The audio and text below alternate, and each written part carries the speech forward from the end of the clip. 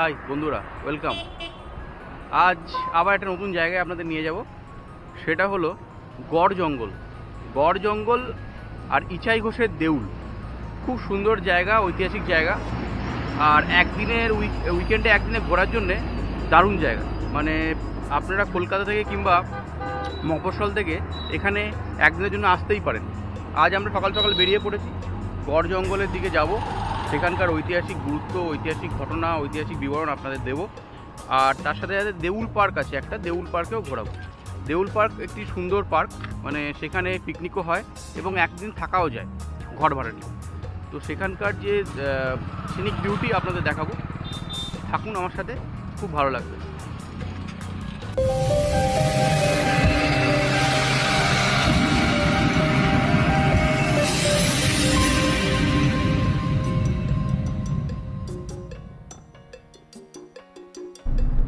অদ্ভুত সুন্দর এই জায়গা। রাস্তাটা অদ্ভুত সুন্দর। কাশফুলগুলো এখনও রয়ে গেছে।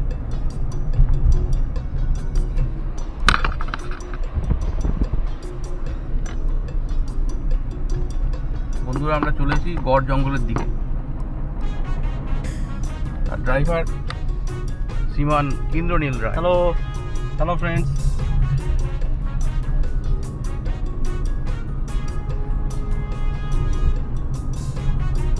সুন্দর রাস্তা।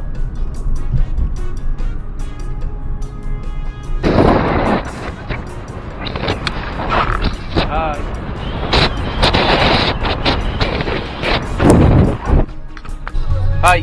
আমরা ঢুকে পড়েছি গড় জঙ্গলে। এবার সোজা এখন আট কিলোমিটার যাব। তারপরে ওখানে পূর্ব যেসব জায়গাগুলো, সেগুলো হচ্ছে ইচ্ছাই ঘোষের দেউল। তারপরে হচ্ছে শ্যামরূপা মায়ের মন্দির আর মেধাস্ব আশ্রম। এখানের ইতিহাস আপনাদের আমি জানাব। দেখুন এই জঙ্গলটা কি সুন্দর। অদ্ভুত সুন্দর জঙ্গল। শাল পিয়ালের জঙ্গল। সেই জঙ্গলের মধ্যে দিয়ে ড্রাইভিং এক অদ্ভুত অদ্ভুত অনুভূতি। কি বন্ধুরা, এই জঙ্গলটা দেখে সত্যিই ভালো লাগছে না? যদি এই জঙ্গলে আসতে হয়, তাহলে আপনাকে হাওড়ায় ট্রেনে চাপতে হবে। ট্রেনে চেপে দুর্গাপুর নামতে হবে। দুর্গাপুর থেকে লোকাল গাড়ি হায়ার করে চলে আসতে পারেন গড় জঙ্গলে। মোটামুটি গাড়ি ভাড়া পড়বে আপনার আটশো টাকা মতো। এই আটশো টাকা ভাড়া দিয়ে আপনি চলে আসতে পারেন এত সুন্দর একটি জায়গাতে।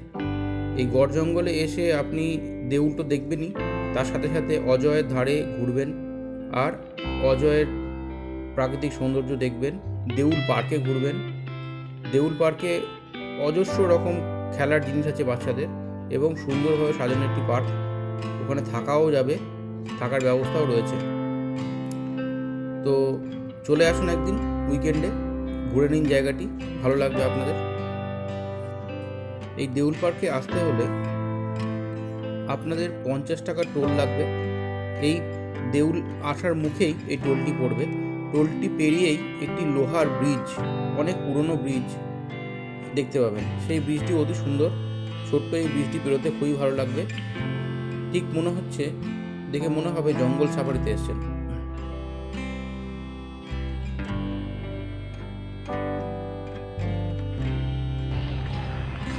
আমরা আস্তে আস্তে পৌঁছে গেছি দেউলে। ইছাই ঘোষের দেউল। দেউলটা খুব সুন্দর, দেখাবো আপনাদের।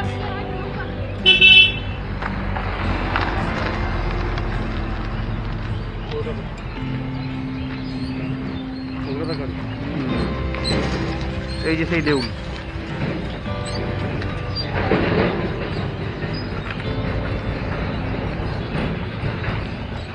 বিশাল উঁচু দেউল। প্রায় হাজার বছরের পুরনো এই দেউল। এই দেউলের ইতিহাস আপনাদের জানাব। হাই, বন্ধুরা। আজকে আবার চলে এসেছি একটি ঐতিহাসিক জায়গায়।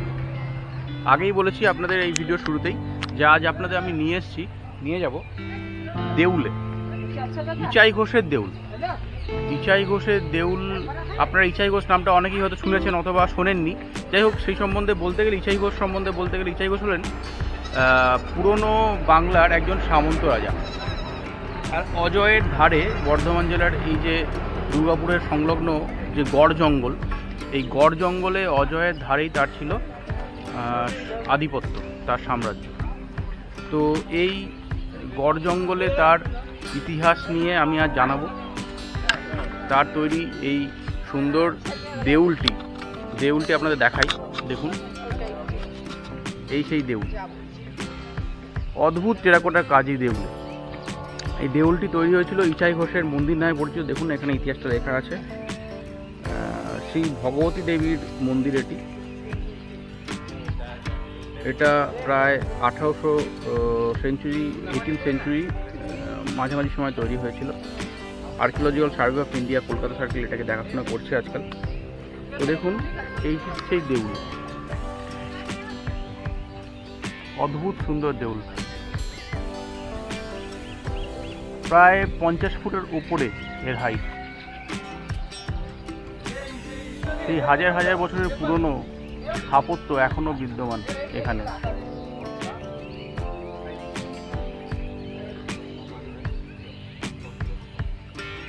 একটা জিনিস বলার যে এটা ভগবতী মন্দির হলেও অদ্ভুতভাবে দেখা যায়, এখানে পূজিত হন শিব শিব ঠাকুরের পুজো হয় শিবলিঙ্গটি বিদ্যমান। এটি অনেক পুরনো অনেক পুরনো এই শিবলিঙ্গটি। এখন যদিও বন্ধ, পুজো হয়নি এখন। একটা নির্দিষ্ট সময় এখানে পুজো হয়। তো আমাকে একটু ভেবে অবাকই লাগছে, ভগবতী দেবীর মন্দির কিন্তু ভেতরে শিব ঠাকুর বিদ্যমান। জানি না এর ইতিহাসটা কি, ঠিক? চলুন দেখাই বাইরে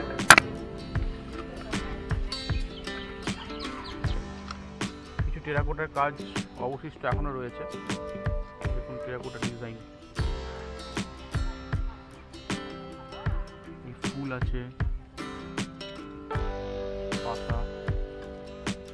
আর সব থেকে ওপরে রয়েছে বন্ধুরা, এই দেউলটি আসলে কি? এই দেউল হলো হিন্দু মন্দিরের একটি অংশ বিশেষ। কলিঙ্গ স্থাপত্যের নিদর্শন হলো এই দেউল। আগে মন্দিরের পাশেই তৈরি হতো বিভিন্ন ধরনের দেউল।